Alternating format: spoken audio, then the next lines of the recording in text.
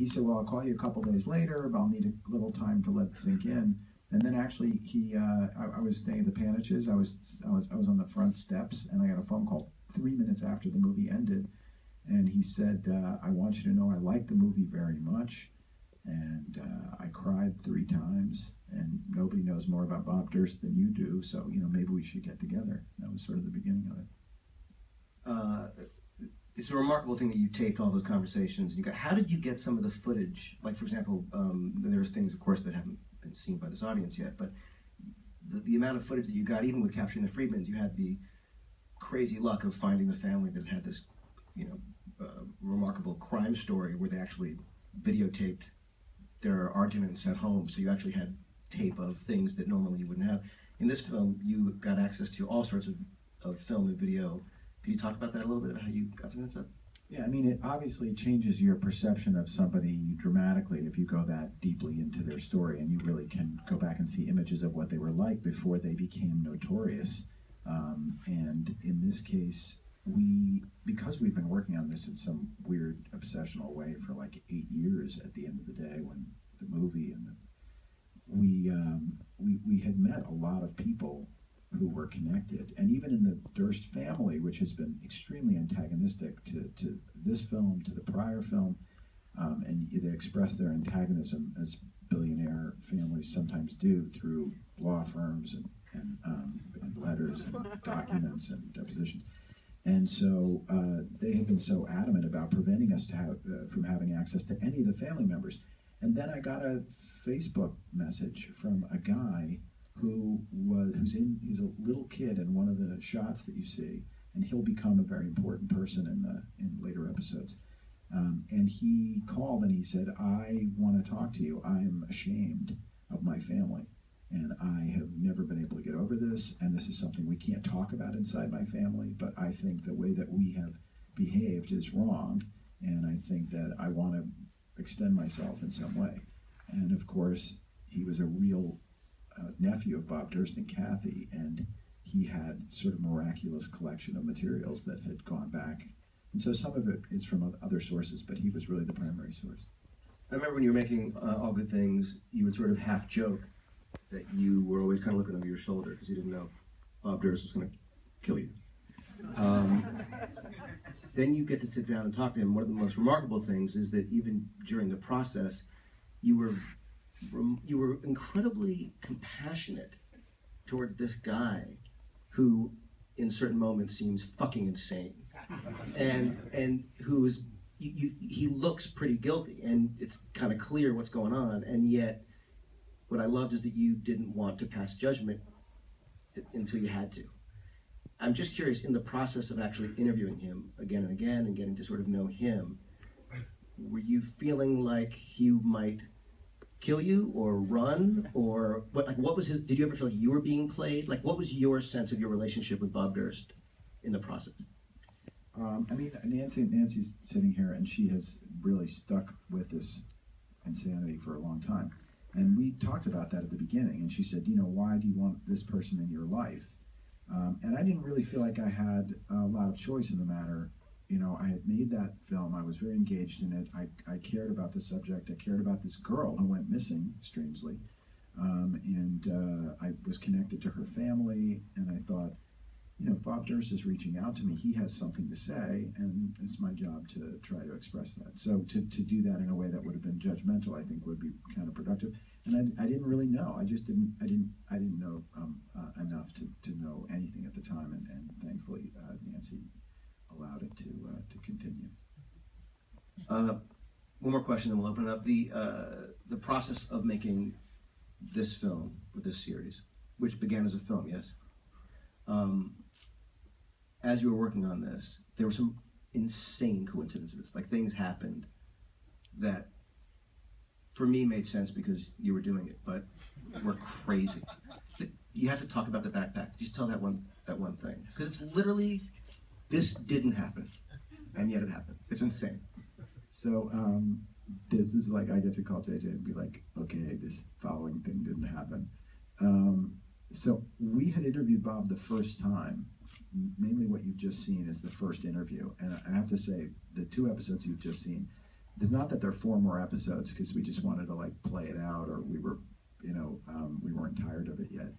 The stuff that happens in the next episodes is so radical and unexpected that you kind of go on this thrill ride and then you're just stuck on it and you and, and I, I do have to say that you cannot believe how crazy the story gets. Like, this, is, this is nothing.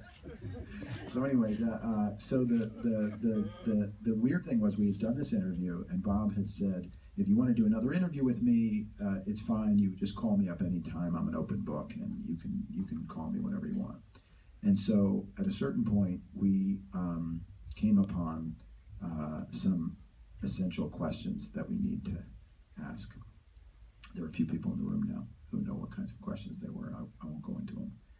Uh, but it became very important to the story that we approach Bob again. And uh, so I called him, and suddenly his enthusiasm for the second interview had changed a little bit. And, you know, he would schedule it and then cancel it, schedule it and cancel it. And that happened a lot, like maybe a dozen times. And it was clear that he just, at a certain point, had decided, you know, he didn't want to do anymore and that it wasn't fun anymore. And the truth is, you know, he, he's all the money in the world, doesn't need to do this. And obviously, if it didn't entertain him or it didn't suit his needs, he wasn't going to do it. So um, I kind of thought we were in, in, a, in a little trouble in terms of telling the story. And one day he called me up and he said, um, uh, I've been thinking a lot about what you want to do, and I've decided you've done Bob Durst. You need a new gig. And I said, all right, well, thanks for letting me know when my movie's over. But anyway, when can we get together? And um, and so it looked like that was sort of the end of the line. And I left him alone for a long time. And then, um, you know, not knowing whether he was going to come back and not knowing how it was going to end. And then I get this phone call from this musician in the middle of the night when on my cell phone. And he says, hey, this is Chris. And, uh, I'm this musician in LA. And, uh, I, and, and, and I want to know if you want Bob Durst's backpack. And I, I said, uh, I'm sorry, what, I don't know you. And he said, well, I'm friends with your brother Nick, and I'm just this musician guy, and I was in this cafe in Prego in LA, and I was, there's this guy sitting across from me. He left his backpack. And another guy said to me, the old guy left his backpack, and I'm leaving, so maybe you could hold it for him. So, do you want it? I said, well, how do you know I have any connection to it? He says, oh, I opened it up, and in there, there's like a, a printout of an iPhone, and the address book, I opened it, and the first page says Andrew Jarecki, and it was under the A's. And I thought, well, I know Nick Jarecki, so okay, I'll just give, give Andrew Jarecki a call. Number's right here. So I thought that that's the most bizarre. So I, then I thought for the first time, now I'm going to die. That's, this is impossible that that is a coincidence. And so I so I said, can I call you like in the future? And I and I hung up and I waited and I, I called Nick and Nick said, no, he's a real guy. He's a nice guy. He's not he's not part of some international plot. He's just a guy, a musician. And so uh, so he was in LA at the time. Then I, I I called him two days later and he and he and he picked up the phone and he said, Can I give you this thing? Because I spoke to my dad and he just Googled Bob Durst and he said I should get in my car and drive as far as I can and throw it out of my car.